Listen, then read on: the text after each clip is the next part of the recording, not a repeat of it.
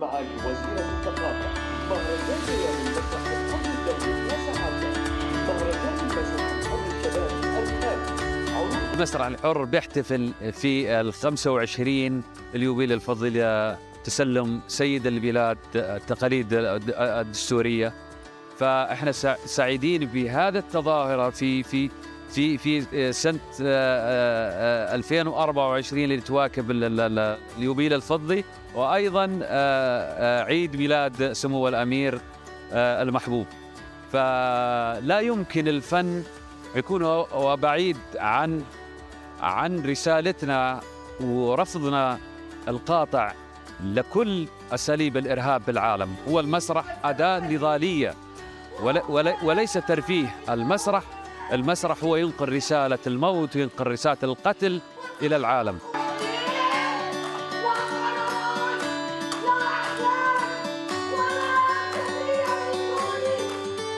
المسرح الحر مسرح ملتزم بدون أدنى شك.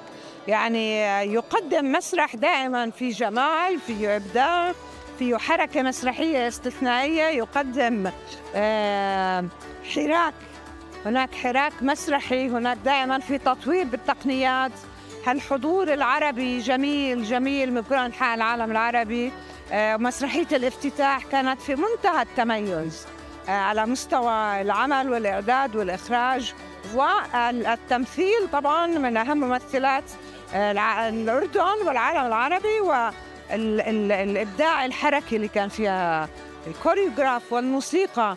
استثنائية. نحن اليوم واضح أن لدينا حركة مسرحية ناضجة بكل ما تعنيه هذه الكلمة من معنى. يعني الحقيقة الأردن ساحة زاخ- زاخرة آه، لكل آه، مشاهد الثقافة والفنون. آه، صحيح أن هناك آه، الأمة تتعرض لهجمة همجية شرسة إلا أن المسرح شكل من أشكال النضال.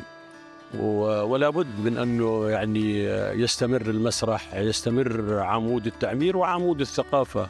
آه، يعني أنت بحاجة لتدعم آه، أي موقف لجار أو ل- للأهل أنت بحاجة لأردن قوي. حتى يعني الدعم لفلسطين إحنا بحاجة لأردن قوي حتى نستطيع أن ندعم فلسطين. والمسرح هو صورة مجتمع يعني إذا لم يعبر عن قضايا المجتمع وعما يحدث فيه من مشاكل وإشكاليات مستمرة يصبح بلا قيمة لأن المسرح معروف أنه من الناس وإلى الناس.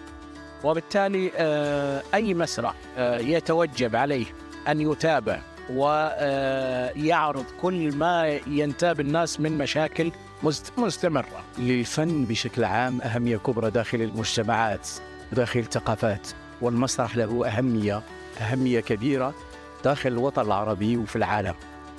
المسرح المجال أو الفضاء أو الفن الأكثر تعبيرا من غيره على كل هموم المجتمع وأهم القضايا التي تمس المجتمع المحلي والمجتمع العالمي لا شك إن آه، فنون الأداء والمسرح من بينها هو خير من يقوم بأدوار في هذه الأوقات بالغه التعقيد.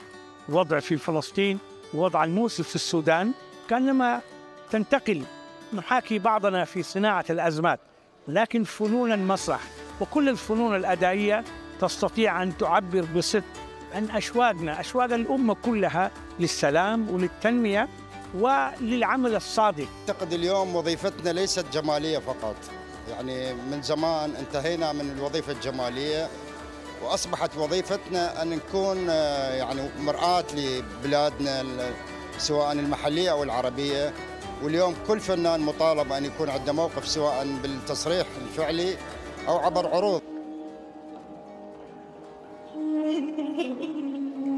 خشاشة الروح وخلاجات الفؤاد المسرح هو الحياة والمسرح يترجم عليه كل التحديات وكل ال- الحزن وكل الوجع وكل الألم وكل الفرح اللي ممكن يصادف الإنسان يترجم على المسرح. فالمسرح هو الحياة واستمرار هذه الحالة أمر واجب حتى يظل آه، آه، الإحساس بالآخر موجود من خلال الأعمال من خلال ال- ال- التذكر حتى من خلال ال- الإشارة ل- ل- آه، الوجع الكبير اللي بداخلنا. المسرح الحر هو بيتي الثاني. فأجمل شيء أن تكرم في بيتك. وهذا هي فرحة م- يعني أعتقد فيش واحد بحس فيها إلا اللي بكون فيها. فأنا لما يعني صار موضوع تكريمي كانت فرحة عارمة. افتتاح المسرح الحر كان افتتاح عظيم كبير. كان افتتاح هي رسالة إلى آه، طبعا الأهل بالأردن ورسالة إلى أهلنا بفلسطين نحن معكم. هاي المرة في اختلاف بسيط بمهرجان ليالي المسرح الحر الشبابي اللي هو أصبح دوليا. عندنا مجموعة عروض شبابية أردنية وعرض آه إماراتي آه سعيدين جدا إنه يكون المسار الشبابي صار دولي.